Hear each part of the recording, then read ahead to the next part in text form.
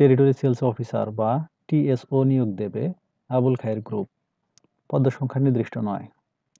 শিক্ষাগত যোগ্যতা যে কোনো পাবলিক বিশ্ববিদ্যালয় হতে যে কোনো বিষয়ে মাস্টার্স।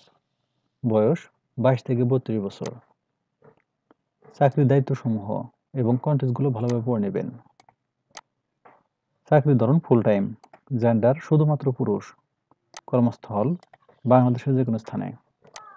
আগ্রহী প্রার্থীরা বিডিজবস ডট কম এর মাধ্যমে আবেদন করতে পারবেন। আবেদনের শেষ তারিখ দশ সেপ্টেম্বর দু হাজার চব্বিশ। সার্কুলার লিঙ্ক কমেন্টে থাকবে। ধন্যবাদ সবাইকে।